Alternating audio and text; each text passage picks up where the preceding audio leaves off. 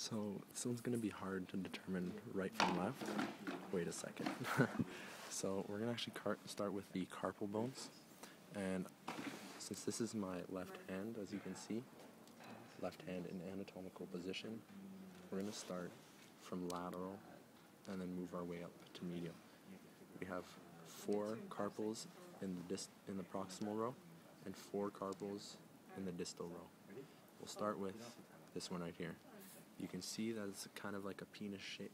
Penis. Wow. Peanut shaped bone. Shaped like a peanut.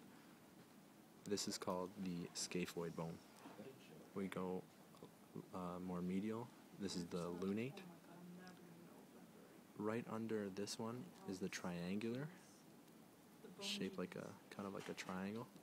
And then this is a sesamoid bone. It's called your pisiform. Okay, it's actually not connected to the uh, triangular. It's actually embedded in a ligament.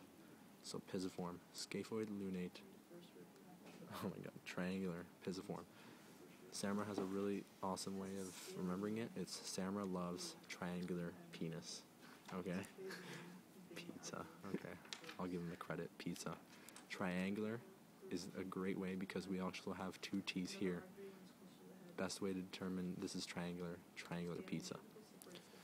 We're going to go back to our lateral side with the two T's. First T, again, credit to Samra. This is the trapezium because it's right next to the thumb.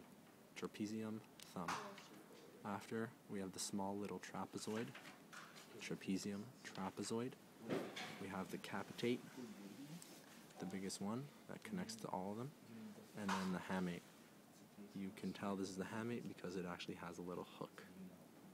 Alright, so again, scaphoid, lunate, triangular, pisiform, lateral again, uh, trapezium, trapezoid, capitate, hamate. Samra loves triangular pizza till I don't know till they come home. till they come home, whatever. Or you can do physio physiotherapist love sex till they come home. That's why I said medial to lateral, bitch. now I know. Okay, that's it. Oh, yeah, my yeah, I'm still going. Okay, metacarpals.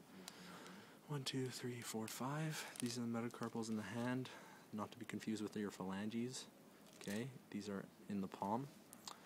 Five metacarpals, base, body, head, and then the phalanges are the same thing. We have our proximal, middle, and distal phalange, base, body, head, base, body, head.